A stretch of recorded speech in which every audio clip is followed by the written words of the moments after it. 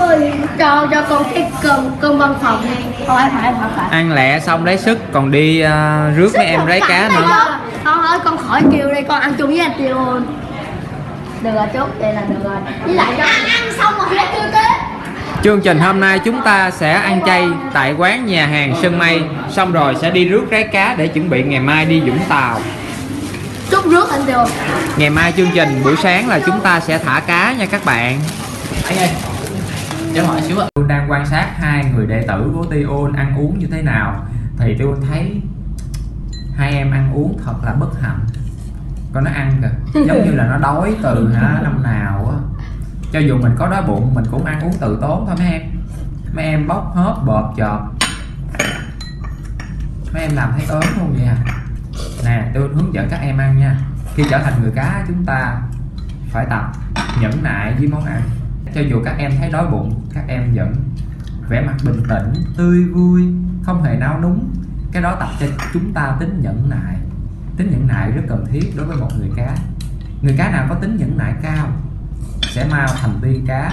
Giống như hôm nay ăn uống nè, tôi thấy cách ăn của mấy em là không được chút nào. Mai mốt mà lên bàn tiệc, đi chung sự kiện người cá, bước ra ngoài thế giới mà các em ăn uống như vậy.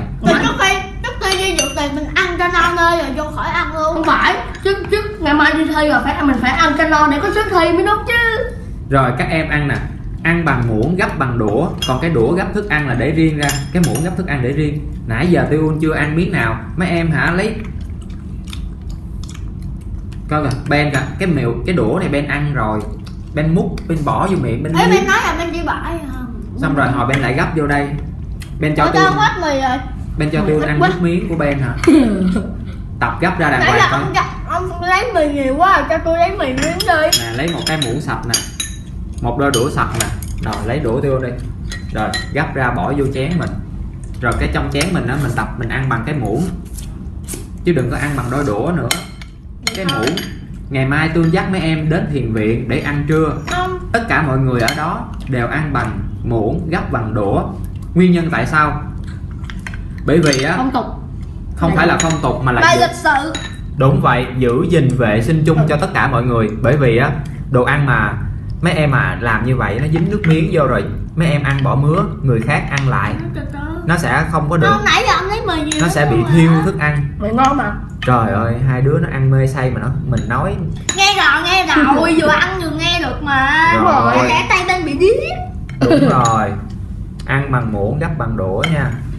Tay. Cái muỗng này em ăn mà Thôi bây giờ em tập lại đi Lấy cái muỗng sạch, đũa sạch bên kia đi tay Tập ăn lại, ngày mai vô thiền viện là mấy em phải ăn đúng như vậy nha. Mấy em mà ăn dơ á, Rồi mấy thầy á, buổi chiều người ta ăn lại đồ ăn của mấy em á Là Đến nước miếng người ta bỏ đập chén không phải là mình bị tổn phước á. Bởi vì mình để cho người ta ăn cái thừa của mình. Còn bây giờ mình ăn Mình gấp bằng đũa Mình ăn bằng cái muỗng của mình Cái phần thức ăn thừa nó vẫn còn sạch sẽ. Để mình lỡ no Mình bỏ mứa lại đồ ăn Vẫn còn có người khác mà ăn. hồi nãy một mút cái này nha ơi đừng. Hiểu chưa? Đúng bằng cũng tập mà. Còn khi ăn là phải từ tốn Ăn im lặng cái miệng nhai Bớt lại Ben Cái miệng em nhai em hút kìa. Chục chục chục văng nước miếng tùm lum tà la tét lét. Là hả vô đồ ăn. Là người khác ăn vô. Họ lại bị dính nước miếng của mình Họ lại bị bệnh Lỡ em bị bệnh sao? Nên ăn mình giữ vệ sinh cho mọi người Mình ăn trong im lặng từ tốn. Ok giỏi lắm. Vậy mới là đệ tử của tiên cá chứ các em. Rồi. Ăn Rồi nó ăn nó hút rụt rụt rụt rồi. Ăn đừng phát ra tiếng động sẽ là tốt nhất Đó cái cách ăn mà làm cua muỗng rồi Làm chén rung rinh như vậy là thể hiện sự bợp chợp không có tốt. Ok. Còn món gì nữa không anh? đó rồi Ok cảm ơn anh. Ơi vậy cho con chọn con Tina đi nó bị con nó giữ vậy cứ phải Ờ, TV Tina. huấn luyện nó Bây giờ tụi con được đi chơi nha. nó bị ai quýnh đó. Đó cái tiêu bị ai quýnh rồi nó qua nó à, khiếp nó lại Các bạn ơi TV Tina bữa nay sẽ được đi chơi tắm biển Vũng Tàu. Tây ôn qua rước mấy bé đi chơi. Để đi du lịch.